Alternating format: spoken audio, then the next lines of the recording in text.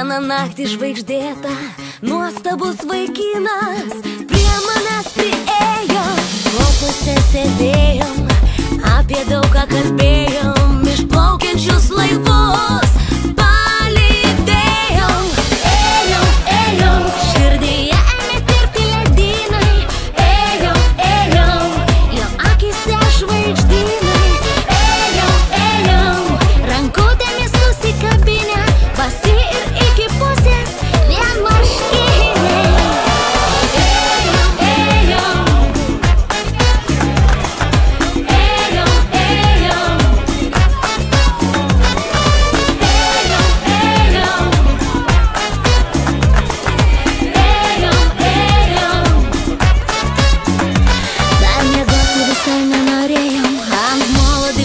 estou viajando.